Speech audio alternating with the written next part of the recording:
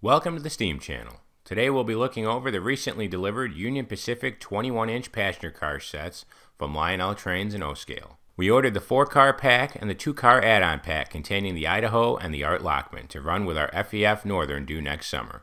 These cars can be seen across the country behind Union Pacific's Steam Heritage fleet. I was impressed with the sheer size of these cars upon unboxing them.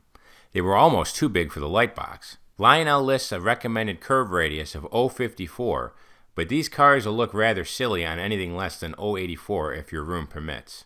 Be mindful with older O-gauge switch tracks with raised lanterns or switch throw levers, as the cars may make contact with these components on tighter radius switches.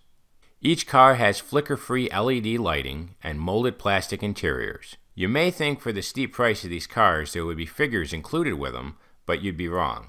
Personally, when you're charging hobbyists nearly $800 for a four pack of coaches, I would think that the figures would be included. Each coach has flexible end of car diaphragms and nice detailing. Yes, the doors on the end of the cars open. Each car comes with die cast sprung trucks, which are really nice. These are some of the best looking trucks I've seen, and each truck is actually sprung so the journal box moves in the pedestal pocket. This is a nice touch, and it really adds so much to the character of the model. Here is a pan of the undercarriage of the Idaho in which you can see the kinematic couplers, the underside of the trucks, and the underside detailing. Each car comes with a toggle switch beneath the car to turn the lights inside on or off. This is a nice feature if you don't care to run with the car illuminated, so you aren't taking life off of the LEDs inside the car. The cars come with kinematic couplers, which Lionel advertises as allowing for a close coupling. The gap between these cars is pretty brutal for a scale model. Lionel does mention the process is easy to convert these couplers to scale couplers for those wanting to go that route. While I like the closer coupling, I don't think I'll bother to fiddle with the stock couplers. The four pack of coaches comes with the City of San Francisco, a dome car, the Challenger, a dome car, the Katy Flyer, and the 5769 flag draped baggage car. The stock number for this set is 2327270. As I previously noted, Train World has this 4-pack in stock for $800. There were also two additional add-on packs for this set.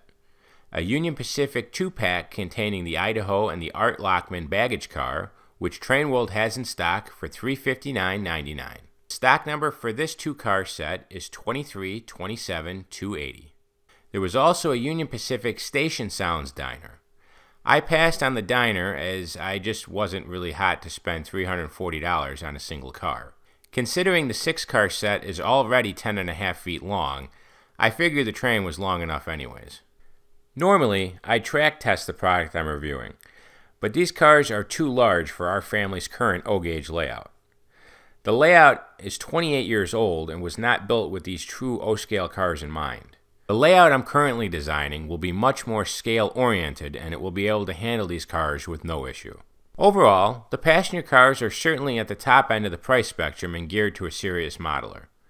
I wasn't ecstatic about spending the money myself, but I figured it to be a one and done purchase.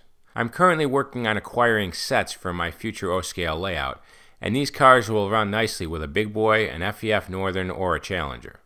Lionel is also running a gray scheme in the 18-inch heavyweight coaches for the upcoming gray FEF Northern, if that floats your boat more. But I'd rather have the gray and yellow coaches with the red pinstriping. This scheme is more visually appealing, and this is what's used on the Union Pacific Heritage fleet. If you're interested in a set of these coaches, Train World has limited quantities of all three packs still in stock. These cars were delivered fairly recently, but they were built on a built-to-order basis, so don't delay in ordering your set.